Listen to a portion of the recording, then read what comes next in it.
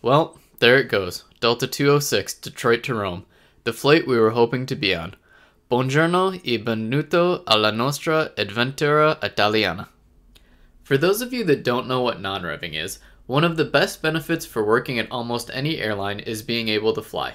Whether it's domestically for free, internationally by just paying the airport tax and fees, or on other airlines who your airline has an interline agreement with by paying a Z fare. This huge perk of working for an airline does have some drawbacks, however. It is on a space available seniority base, and unfortunately today, there was no space. So back to the beginning of June, our Italian adventure actually starts on Delta 134 from Detroit to Amsterdam. Fortunately, this flight, not only did they have seats for us, but there were seats up front. After the approximate seven and a half hour flight on a Pratt & Whitney powered Airbus A330-300 in seat 7A in Delta 1, we arrived in Amsterdam looking into plan B and C of getting us to where we wanted to be. Thankfully for me, my girlfriend is a non-rev and Z-fare genius, and Amsterdam is basically Delta's European hub, and you can get pretty much anywhere. After about only an hour and a half on the ground, we decided our best bet to get to Florence, Italy, was via Milan and a train. Thanks to the very helpful KLM ground staff, we made it on board KLM Flight 1621 to Milan, MXP. The flight was aboard PHBXA, a Boeing 737-800. After about an hour and a half flight, we arrived in Milan. We then went to the train station in the airport and bought our tickets to take us to Milan Central Station. Much like our first attempt of flying to Italy, this part of our trip would also become quite the travel adventure. After two trains canceled due to an issue with the track, we were told we could take a bus. After our hour bus ride, we arrived at the central train station to find what looked like a scene out of a movie. People from wall to wall, a full schedule board of trains saying delayed 3 plus hours or cancelled. Our bad travel luck seemed to be getting worse. 20 minutes after scheduled departure, the board finally showed a platform for our train.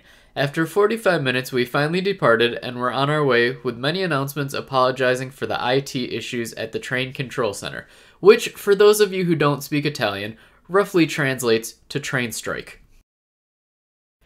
After dropping off our stuff at the Airbnb, we went out to dinner at Trattoria Osteria del Ostre, a traditional Tuscan steakhouse.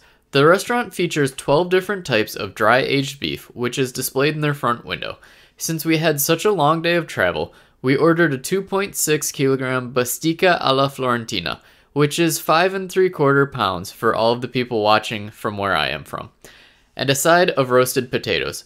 Following dinner, on our walk back, we stopped at a gelato shop in Florence's central train station. Back on track the following morning, after a good night's sleep from being worn out from traveling and being full of meat, we walked around the city of Florence. We checked out the Mercato di San Lorenzo, which featured all kinds of specialty shops and food vendors, before heading to pick up our rental car. We then drove an hour through the very fun winding hillside roads of Loreno Sanfino to get to our Tuscan villa where we plan to stay the remainder of our trip. Riles Villa Belpoggio, a beautiful 17th century historic residence surrounded by the hills of olive groves. The staff were very amazing and helpful, and it was just the laid back Tuscan experience we were looking for. For our first night's dinner, we went to a local farmhouse restaurant called Osteria dell'Aquilina. The restaurant offered an amazing food accompanied with amazing views. Our four course meal consisted with a charcuterie board featuring cured meats, cheeses, crostini, with pate and a pepper jam with rosemary focaccia.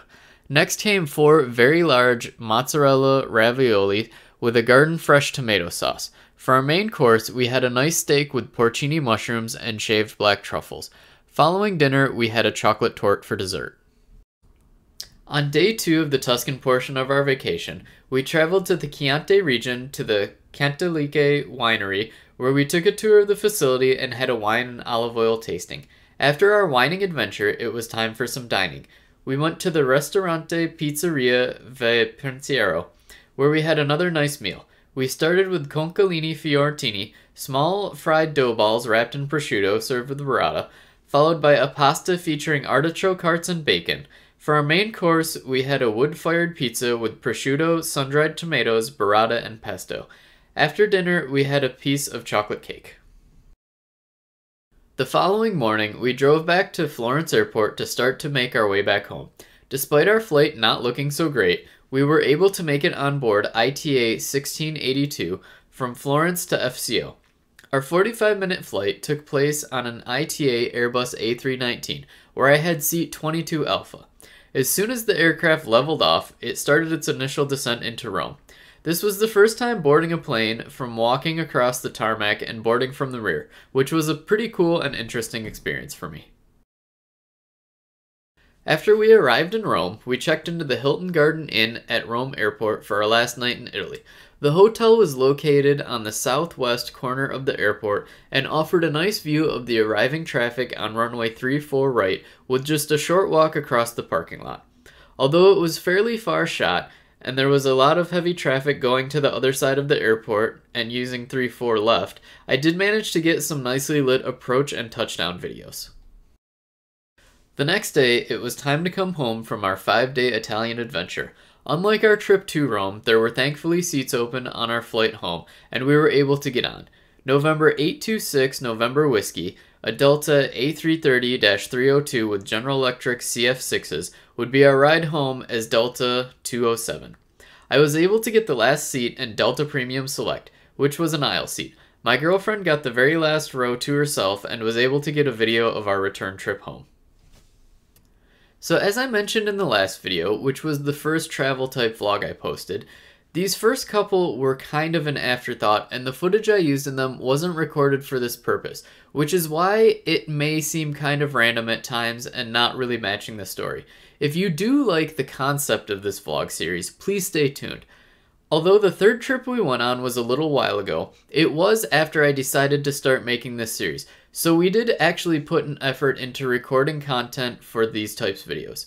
Besides the next aviation-filled travel vlog, which takes place somewhere in Europe, we are gearing up for a special aviation-based trip that is any big plane lover's dream. You don't want to miss this adventure and the planes we are flying on, so don't forget to subscribe if you haven't already.